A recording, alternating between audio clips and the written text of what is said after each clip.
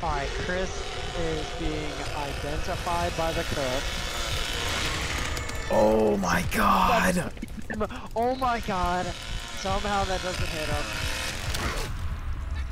And the cook is even hearing him go down the well. Oh, I didn't go down the well, so that means I'm fucking dead. Oh yeah, my fucking game glitched out. And now my... What the fuck is going on? What the fuck was that? Oh my god, I just witnessed an exorcism. I literally just witnessed a fucking exorcism.